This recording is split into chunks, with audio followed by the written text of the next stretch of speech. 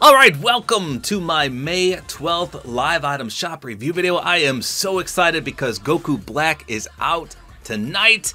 I absolutely can't wait to do a full gameplay and review on this skin.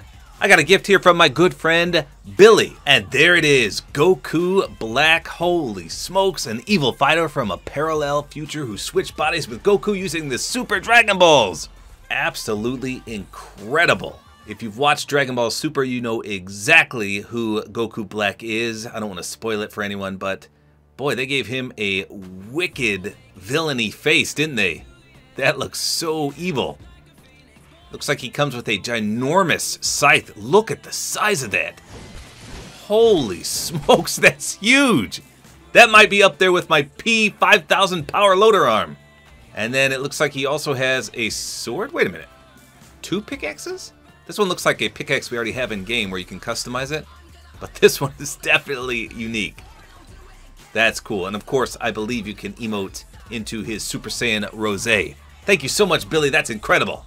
Well, my news didn't update, but I'm sure he has his own tab somewhere. So let's go see how much he costs. There he is, the Goku Black Bundle. Insane. So it looks like he's 1800 V-Bucks. That's not bad. He is well worth 2000 in my opinion. But the fact that you get all this for only 1800, incredible. It says use the Goku Black's charging up built-in emote to transform. So it looks like you can pick Rose. Oh, that looks phenomenal. Absolutely beautiful. I love it. They did so good with that hair, I think. Here's the built-in charge up emote.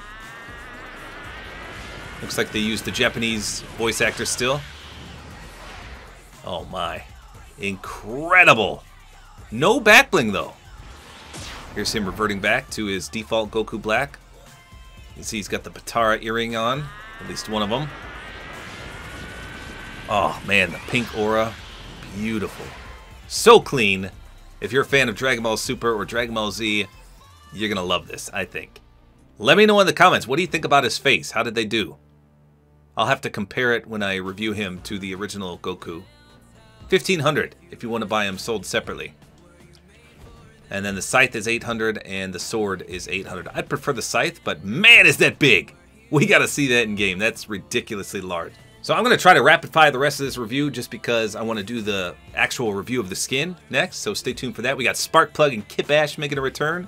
The Edge Factor, which is, I think, hold on, let's see. Is this the super reactive set? No, this is the one where only the male skin is reactive. Isn't that weird? Female skin, nothing. Just the male one. Pickaxe is pretty clean, as is the multi-point edge glider. Very colorful and bright set for sure.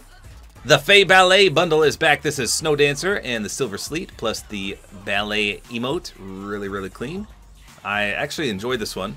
You don't see a lot of people run it though, but it's fairly new. Peekaboo, Night Knight, and Pick Squeaker back as well as the Arctic Renegades bundle. These were winners of, what was this, the Christmas contest, right? I believe so. So Frigid Foregoer and Nalia, two great skins right there. Champion Celebration still here. Bolt skin makes a return. Diamond Hans or Hands or Stonks. That was an April Fool's skin from way back when. The Devourer's Bane, this one's pretty cool. 800. You got Radiant Runes. I don't remember this one. Chapter 2, Season 2. It is reactive. Let's take a closer look at this. How is it reactive? Oh, that's pretty nice. Look at that. Full Tilt, one of the fastest traversal emotes in the game. Naruto, eat your heart out right there. Finger Wag, Dikembe Mutombo says, not today. Big fella, not in my house.